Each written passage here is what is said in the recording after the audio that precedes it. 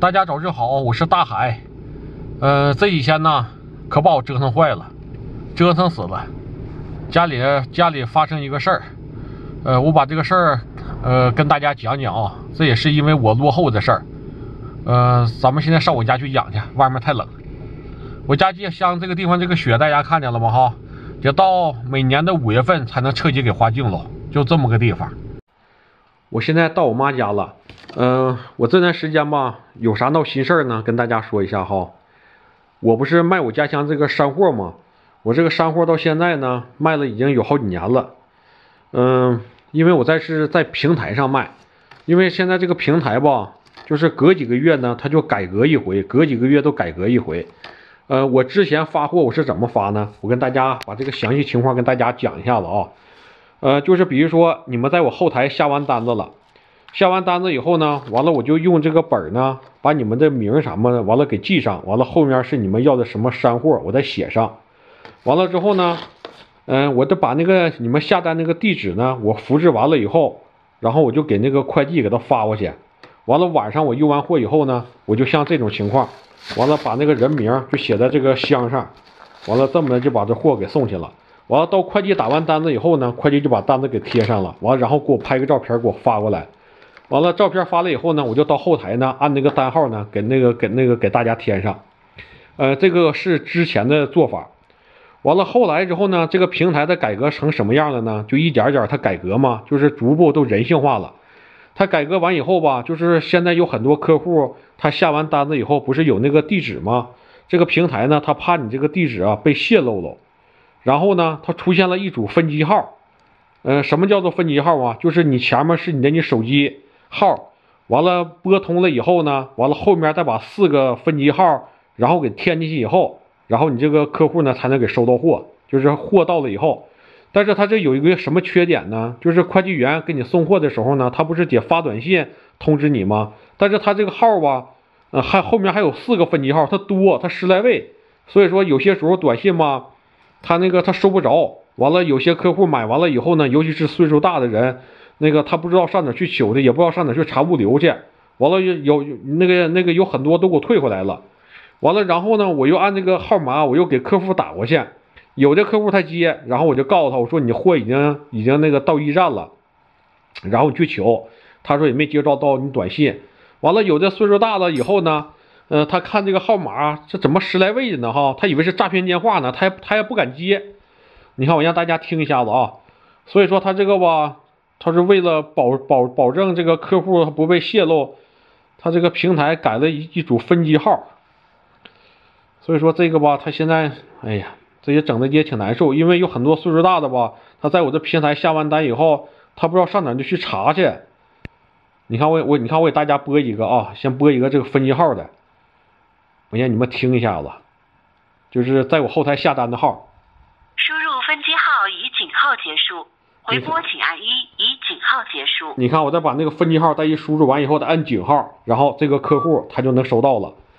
完了，但是客户他那边接收到我这个电话呢，也是七八位的，这也是十来位的号，所以说他就以为诈骗电话呢。有很多岁数大的那个他不接，所以说我跟大家说一声啊，要是那个快递员给你们送货的时候，他们也给你打个电话，打完电话你看到十来位的号，你得接一下子，因为现在这平台整的分机号，怕你们信息。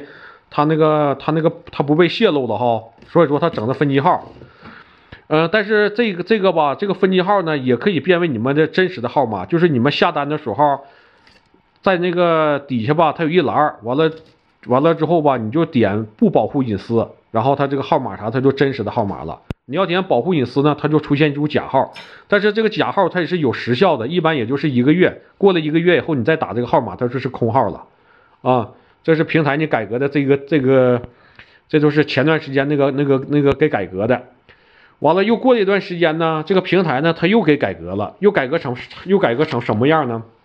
就是我现在我最闹心的样，呃，你看你们这个单子地址下完了以后，我一点复制，完了粘贴，不就是给那个快递员发去了吗？这回还不行了呢。这回点复制还复制不了了，完了所有的你们的地址跟手机号啥的全部都都隐藏，全是个星状，就是那五角星全部给给盖住了。为啥盖住啊？他他要求让我自己在家给打单子，我这个单子打出来以后，我才能看到你们的那个那个有地址，就是你们下完单子以后，全是给隐藏的，上面有电子的面单，我一点，所以说所以说他就所以说你们地址直接给打出来，打出来以后吧，他这个系统直接把那个单号他就给你们填上了，我就因为这个事儿啊，我就折腾死了，呃，下完单以后，我要是不发货的话，他还产生那个有罚款，因为得超时了嘛，所以说这两天就忙活这个事儿了。呃，我要想自己这个给打单子的话，呃，我我跟大家说，我这个事是是我这个事是咋办的啊？我要到我们县城，我们县城吧，来回三百公里，因为我家这个地方吧属于乡镇，乡镇那个网点吧，他那个说的那不算，我得到这个县城里跟这个快递公司谈，谈好了以后呢，他又给我下载一个软件，完了在我他又单独给我设了一个编号，完了编号设计完了以后呢，我又。拿了一台一个打印机回来，看见了吗？打印机，完了还得按这个平台的要求跟它捆绑上，我还得去买面单，完了还得调试，反正这里里外外折腾老长时间。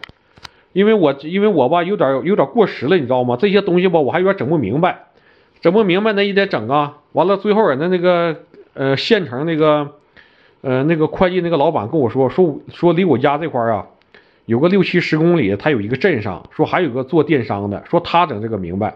然后呢，他又把那个朋友的电话号码给我，我又上那去了一趟，他当面教我的啊，我才把这个事儿就给整明白了。所以说现在吧，我也不能按那个最古老的方式干哈，完了还得说就学习学呃学习点新的你方式。嗯，折腾了有好几天，终于现在把这个事情就给整明白了。整没了以后吧，过两天我看那个。嗯，我听他们说的还要那个平台的还要改，等到下回再改的时候，不知道那又该改成什么样了。但是不管是怎么改吧，它都是，嗯，就是越来越把握哈，越来越合理，它它全是那么改。完，但是我吧，这个人嘛，我老是用那种最古老的方式干哈，所以说我还累。完了之后吧，哎呀，反正有些时候思想嘛，必须那个得转变一下子。你就像我这个似的哈，每天用用手写，又对账，你又干啥的？完了，有很多朋友跟我说说说让我用电脑，用完电脑以后吧，完了每天完了又结算，它自动全全部给算出来了。你说我也不会呀，是不是？所以说我看呢，等到过两天平台再改革的话，有可能逼着我这个账本也不能用了，也得也得就使电脑。所以说有些时候这人在创业的时候呢，必须得逼一把哈。你要是逼一把的话，你不就全全会了吗？你就像这个事儿的，就就是这打印机似的，逼我一把，现在现在不整的不也挺好吗？你看，我现在给打给打出来一张啊，然后我让大家看看，嗯，看看啊，我开始打个单子，这个这个都老快了，你看单子一打，看这就出来了，老方便了，嗯，但是这个面单吧，我现在还得调一下子，是啥原因呢？因为它这个平台吧，所有的面单呢都叫一连单，我家乡这个单子呢是三连单，所以说你这个打你打出了这一张出来以后，得有这一大张，就是这个就是这个面单是不是那是没用的，就那个直接就作废了。所以说我跟那个县城那个那个公司快递公司已经说好了，完了他再给我送点那个那个给一连单回来，然后就可以了。你看现在你要打你打出这一篇出来，他也浪费叠三篇出来，这三三连单嘛，你看。就要这一篇出来，出来那个，那你这一大堆都没有用的，都白瞎这个纸了。所以说有些时候吧，也一点点那个得调试哈，完了等到适应了那个就可以了。但是我现在发现了哈，还是挺方便的，比以前是方便不少。嗯，这个都是我家的山货，这个是野生松仁儿，这个松仁呢都是熟的了，都是原味的了，打开直接吃的。这个是呼伦贝尔的纯牛奶粉，这个是黄野生黄花菜。嗯，木耳还有蘑菇，嗯，大家就是有想要这个野生黄花菜的呢，就是点击视频下方的链接，然后下单就行了。下完单以后呢，那个每天都发货啊。这个黄花菜呢，都是我妈挑出来的，一个是一个，一点碎的没有。呃，我现在把这货呢给包出来，完了找，然后呢，你看我那个面单是怎么贴上的啊？然后我把这个货呢，咱们实拍一下子，然后我给送到快递，直接给发走。我现在开始包黄花菜。啊，对了。呃，大家要是有想要这个黄花菜的，就点击视频下方的链接，然后下单就行了。要是找不着链接呢，就是点击主页，然后在橱窗里或者在店铺里找黄花菜，实在是再找不着呢，就上抖音里面搜索“清泉大海”，然后在小黄车里下单就行了。我现在干活。大家看看啊，这个货不包完了吗？然后我就把这面单一贴，这就行了。然后现在去快递。我现在去快递啊，给大家发货。